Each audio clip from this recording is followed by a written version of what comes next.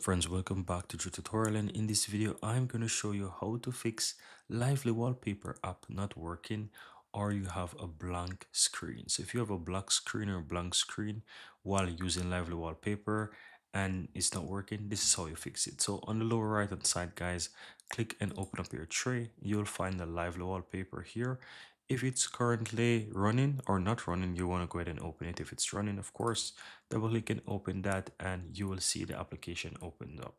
Now what you want to do is go ahead and find your lively wallpaper your wallpaper. Click at that again and once you go ahead and click on that you should see that it starts to show your wallpaper once again.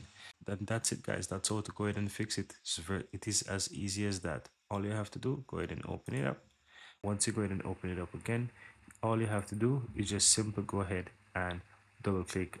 All you have to do just simply click on your wallpaper again and that should fix the issue for you. In case it's not running of course then of course you know you gotta first search for it on your computer by simple type it in and open up the application and then you can go ahead and select it from there. But it happens from time to time. I must say this is one of the most common issues that i've found with lively wallpaper that it works for a period of time and especially if you turn off your computer for some time and you turn it on again it doesn't necessarily mean that it will work.